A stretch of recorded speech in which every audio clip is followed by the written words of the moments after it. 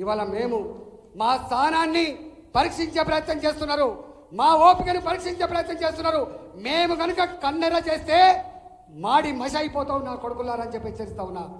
ఇప్పటికైనా మా కార్యకర్తలను వేధించడం బంద్ చేసుకో. ఆనాడు కేసీఆర్ ఉద్యమాలు చెప్పిండు కత్తి ఆంధ్ర ఉందే పొడిచినోడు మాత్రం తెలంగాణలో చెప్పిండు.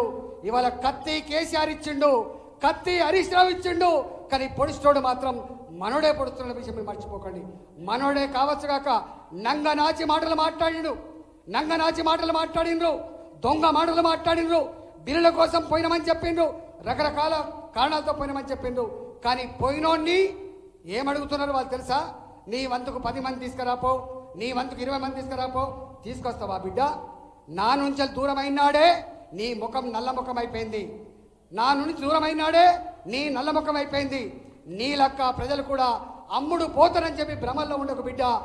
ఎవడెవడైతే ఎవడెవడైతే ఇవాళ దూరం పోయి పనిగట్టుకొని పరిచయాలను ఆసరా చేసుకొని కులాన్ని ఆసరా చేసుకొని చుట్టరికాన్ని ఆసరా చేసుకొని ఇండ్లకు పోయి పట్టుకొచ్చే ప్రయత్నం చేస్తున్నారో మీ భర్తం పట్టుడు ఖాయమని చెప్పిస్తున్నా.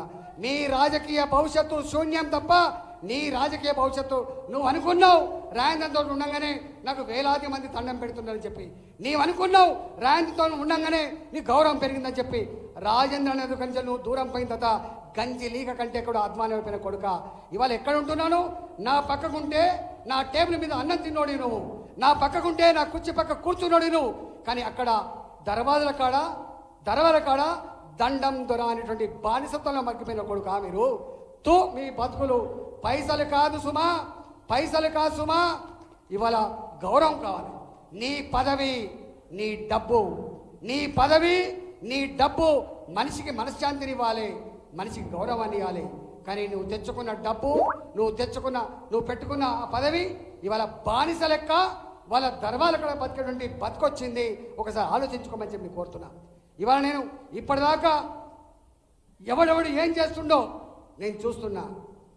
అయినా భరిస్తున్నా రేపో మాపో అని చెప్పి. కానీ ఎట్టి పరిస్థితి కూడా ఇట్లాంటి ద్రోహులు కేసీఆర్ కత్తిస్తే హరీష్ రావు ఆదేశిస్తే నా కార్యకర్తల మీద దౌర్జన్యం చేసే నాయకులని నా నాయకుల మీద దౌర్జన్యం చేసే నాయకులని భరతం పట్టుడు ఖాయం ఎట్టి పరిస్థితులు కూడా వదిలిపెట్టేది లేదని చెప్పి నేను మనం చేస్తా ఉన్నా. ఎన్ని రోజులు ఉంటారా మీరు? ఎన్ని రోజులు ఉంటారు మీరు పదవులలో? మీకు అధికారం ఇచ్చింది రెండు వేల ఇరవై మూడు వరకే. నువ్వు రెండు వేల ఇరవై మూడు వరకు మాత్రమే ఉంటావు. ఇవాళ నా ఒక్కని కోసం నా ఒక్క పక్క పేదోని మీద ఎంతమంది యుద్ధం చేస్తారు? ఎంతమంది మనుషులు వస్తారు? ఇక్కడ ఒక ఎమ్మెల్యే పనిచేస్తాడు. పక్కకే ఉన్న Parakala MLA. Mister Parakala MLA నువ్వు మనుషులలో ప్రేమను చూపించి గెలవలేదు. నువ్వు పనిచేసి గెలవలేదు. చెమట వడిపి గెలవలేదు. రెండు వేల రూపాయల చొప్పున పంచి గెలిచిన బిడ్డ. రెండు వేల రూపాయల చొప్పున పంచి గెలిచిన బిడ్డ. రేపు నీ నియోజకవర్గంలో రెండు వేలతో గెలుస్తావో నీ భర్తం పట్టుడు ఖాయమైద్దో ఈటల రాజేంద్ర అంటోడు తప్పకుండా పరకాల నియోజకవర్గంలో అడ్డ పెడతానని చెప్పి హెచ్చరిస్తా ఉన్నా. ఇవాళ ఇటు పక్కకే వర్ధన పెట్టుడు వస్తాడు వర్ధన పెట్టుడు వస్తాడు ఇంటిని తిరుగుతాడు. నేను అడుగుతున్నా వర్ధన పెట్టి ఎమ్మెల్యేను నీకు దమ్ముంటే నిజాయితీ ఉంటే దళిత బిడ్డవే అయితే మిస్టర్ చొప్పదండి ఎమ్మెల్యే నేను అడుగుతున్నా నీ కాన్స్టిట్యున్సీలో పెన్షన్లు ఇప్పించిన బా కొడుక నీ నియోజకవర్గంలో దళిత బంధు ఇప్పిస్తున్నావు బిడ్డ. నీ నియోజకవర్గంలో నా ఎల్లమ్మకులకు డబ్బులు ఇస్తున్నావు బిడ్డ. నీ నియోజకవర్గంలో రేషన్ కార్డు ఇచ్చినావా బిడ్డ. నీ నియోజకవర్గంలో బిల్లులు ఇప్పించినావా సర్పంచులకు బిడ్డ. నీ నియోజకవర్గంలో రోడ్లు వేస్తున్నావా బిడ్డ. అక్కడ మాత్రం నువ్వు దద్దమ్మ నా కొడుకువు. ఇక్కడ మాత్రం వచ్చి నన్ను విమర్శించే ప్రయత్నం చేస్తున్నావు. ఈటల రాజేంద్ర అంటోడు ఇరవై ఏళ్ళుగా ఏం సంపాదించండు? ఈటల రాజేంద్ర అంటోడు ఇరవై ఏళ్ళుగా నా నియోజకవర్గ ప్రజల హృదయాల్లో చోటు సంపాదించుకున్నాడు చోటు సంపాదించుకున్నాడు. ఇవాళ ఇక్కడ మైకిస్తే వందల మంది మాట్లాడతారు వందల మంది మాట్లాడతారు. నేను అనుకుంటున్నారు నేనేదో కోపంగా మాట్లాడుతున్నాను నేను అనుకుంటున్నాను ఆవేశంగా మాట్లాడుతాను నేను ఆవేశంగా మాట్లాడలే నేను కోపంగా మాట్లాడలే మా వీరన్నుడు ఇక్కడ మా వీరన్నింటికి రోజు మనిషి వచ్చిపోతారు. రోజు ఒక్కడేసారి చెప్పిండు నువ్వు ఎన్ని చెప్పినా ఎంత డబ్బిచ్చినా నువ్వు ఎంత బెదిరించినా నేను రాయంద్రంతోటే ఉంటా మా వీరన్న ప్రెసిడెంట్. ఆయన ఇస్తే మైక్ ఇస్తే చెప్తాడు ఏం చెప్తాడు ఏం చేస్తాడు. అరే తెలంగాణ ప్రజలారా తెలంగాణ మేధావులారా తెలంగాణ ఉద్యోగులారా తెలంగాణ రాజకీయ నాయకులారా ఇది ఈ సాంప్రదాయం ఇట్లే కొనసాగితే ఇది చీకటి రోజుకు దారితీసే ఆస్కారం ఉన్నది బానిసత్వానికి దారితీసే ఆస్కారం ఉన్నది ఎందుకంటే రజాకారుల గురించి తెలియదు కానీ రజాకారులను మించిపోయింది కేసీఆర్.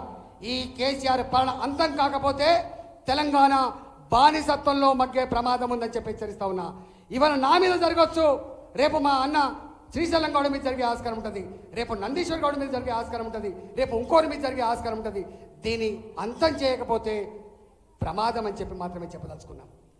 ఇవాళ నేను నా అక్క చెల్లెలకు నా అన్నదమ్ములకు నేను విజ్ఞప్తి చేసేది నేను రెండు వేల పద్దెనిమిది ఎన్నికల్లో కొన్ని డిమాండ్ చెప్పినాను మా గౌడ సోదరులకు మా గౌడ అన్నలకు తప్పకుండా సైకిల్ మోటార్లు ఇవ్వాలి అని చెప్పి కోరిన.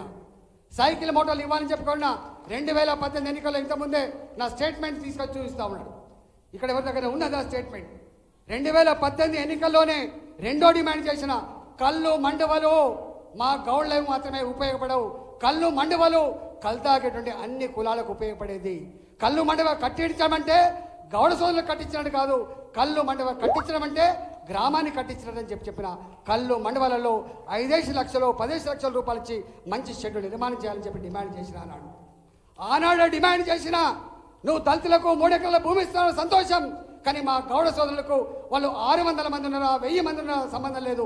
కనీసం వాళ్ళ జనాభాను బట్టి ఐదు ఎకరాలు పది ఎకరాలు కనుక మీరు ఇచ్చి గిరికతాల్లో అధునాతనమైనటువంటి ఈతతాల్లో పెడితే ఇవాళ వాళ్ళు బతుకుతారని చెప్పి చెప్పిన. ఆనాడే ఆనాడే కమ్యూనిటీ వాళ్ళ విషయంలో కావచ్చు. ఆనాడే ఇవాళ ఆ నీరా నమ్ముకునేటువంటి కావచ్చు. అవన్నీ ఆనాడు డిమాండ్ పెట్టిన. ముఖ్యమంత్రి కేసీఆర్ గారికి నేను ఈ వేదిక నుంచి డిమాండ్ చేస్తున్నా. తక్షణమే హుజురాబాద్ ఎన్నికల లోపే హుజురాబాద్ నియోజకవర్గంలో కావచ్చు తెలంగాణ వ్యాప్తంగా కావచ్చు సైకిల్ మోటార్లు వెంటనే ఇవ్వాలని చెప్పి డిమాండ్ చేస్తున్నా. కళ్ళు మండవాలలో మంచి చెడు నిర్మాణం చేయాలని చెప్పి డిమాండ్ చేస్తున్నా.